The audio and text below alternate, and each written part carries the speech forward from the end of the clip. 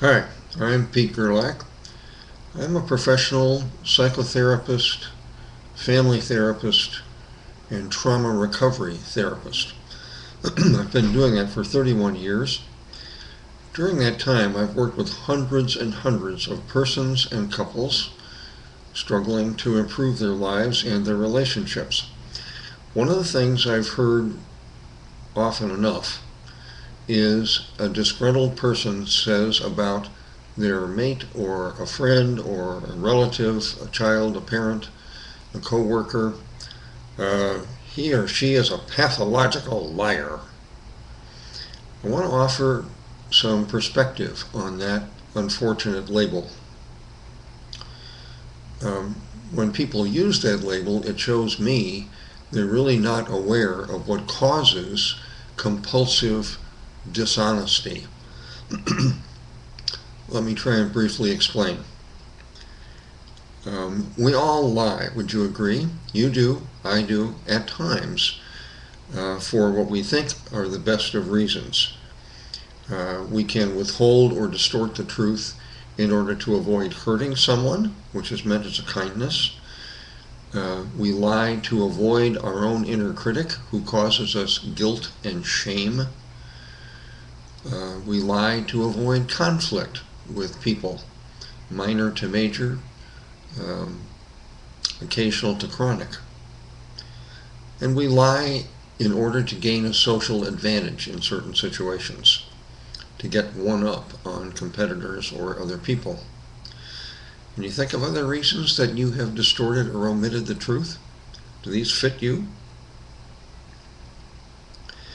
We've been taught since early childhood that lying is bad. Liars are bad people. Liars should be punished and scorned and criticized. Is that what you were taught? I think most of us were, both in school and often by the church. People who lie all the time, chronically, and are caught at it, or people who suspect that people, other people lie all the time, can be called pathological, pathological liars. That's a scornful, critical, demeaning term. Pathological, uh, for me, is associated with badness, sickness. Um, I don't know. What does it mean to you when someone says pathological? What comes into your mind? If anyone has ever accused you of being a pathological liar, or if you think you are yourself, or if you have judged someone else as a pathological liar. An option is to substitute the more accurate term compulsive for pathological.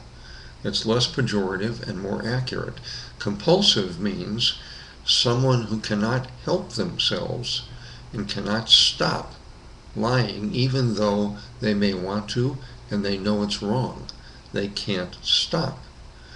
In that sense, it's very similar to an addiction.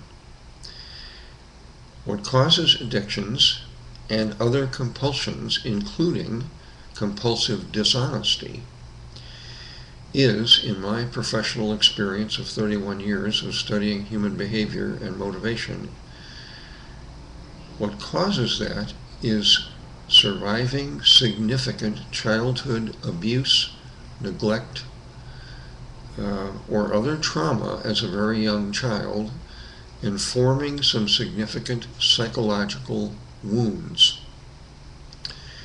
This can be, there's a shorthand code for these wounds, which can be called being ruled by a false self. People who lie compulsively and chronically and deny it, either to themselves or to you, in my experience, merit compassion, not scorn, not judgment. Doesn't mean you have to put up with their behavior.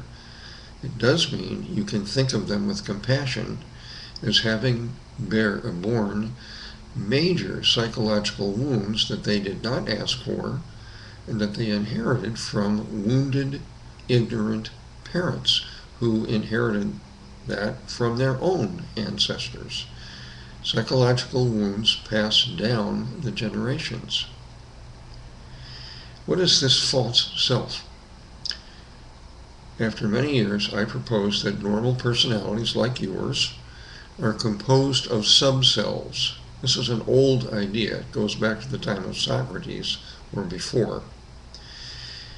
Your sub, your personality and mine and your favorite favorite liar, uh, their personalities are composed of individual uh, semi-independent parts or subselves, like the members of a sports team.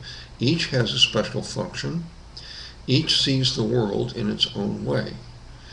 Subselves exist to help us survive. They're not good, they're not bad. They're wired into us to help us stay alive and avoid pain. Um, people have a unique mix of subselves. it's a unique as your thumbprint, but there are some commonalities to most people. I've been working with people's subselves for 19 years. What I've observed is people who lie occasionally or chronically, whether they deny it or not, are often controlled by some subselves like these. One is a scared child who has been taught way, way long ago if you tell the truth, you're going to get really badly hurt. That inner child is usually living in the past. There may be several such inner children. There's another inner child which brings you the fear of guilt. I told a lie, oh, I broke, I broke the rule. That triggers another subself which can be called the shamed child. When you lie, you've been taught it's bad to lie, you're bad. That brings up the terrible, painful feeling, I am a bad person. You can also have an inner critic that can scour you, scorn you for lying. You weak, sniveling so-and-so. Um, you can have a magician sub-self who makes it miraculously, it's okay to lie. In this instance, it's a good thing because blah, blah, blah. The magician distorts reality and can justify lying in the most creative, amazing ways. So these inner children and inner critic and sometimes a worrier, what will happen if I lie? And your magician, all of these together can be called a false self. They disable your true self, who knows how to act in a moral, upright way and find a way to tell the truth. Another reason that many people tell small to large lies is, in my experience, they have never learned the seven powerful, effective communication skills that I, I outline in lesson two of my nonprofit website. If you don't, if you can't name these seven skills, you're probably not using them. I would bet almost certainly any chronic liars in your life could not name or use these skills. If they could, they would know how to assert and listen and problem solve from their true self, not a false self. And that would mean they would not have to lie, except perhaps to spare someone pain. So what I'm inviting you to do here in this video, anytime you hear or use or think the term uh, pathological liar, rethink that. I encourage you to say compulsive liar, which is less scornful and more accepting. And what I mean by that is this is a person who bears psychological wounds that they're unaware of they didn't ask for, and they didn't know, and they don't know what to do about it. And they also were never taught vital communication skills that would help them know how to tell the truth in most situations. If you are such a person, I strongly encourage you study lesson one in my nonprofit educational website at sfhelp.org. Learn how to assess if you are ruled by a well-meaning false self and see the related videos at YouTube. If you are, you can reduce the wounds over time and free your amazing true self to lead your life.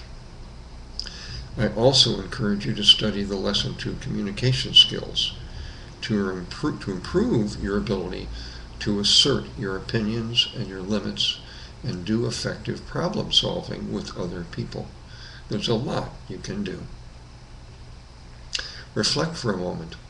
Why did you begin watching this video? What did you need? Did you get some or most of what you needed? What are you thinking now? Be aware. Thanks for watching.